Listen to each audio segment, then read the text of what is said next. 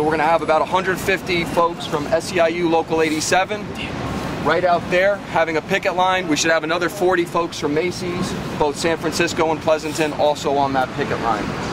In terms of the operation here today, when I signal with this whistle, everybody's going to converge on the rally point, which will be pointed out to you by your escort. So no later than 11:25, 11:30, we're going to be loud and proud for 15 minutes.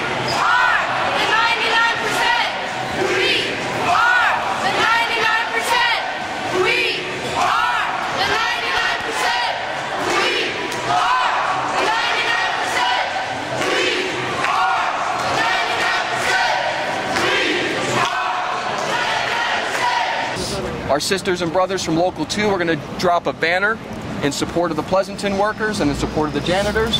We're going to chant for 15 minutes.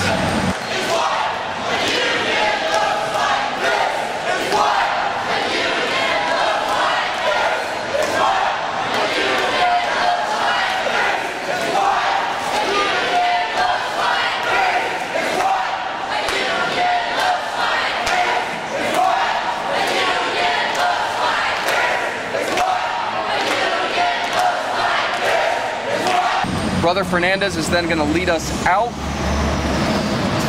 of the mall, and then we're going to rally up with our folks in front of the at the picket line.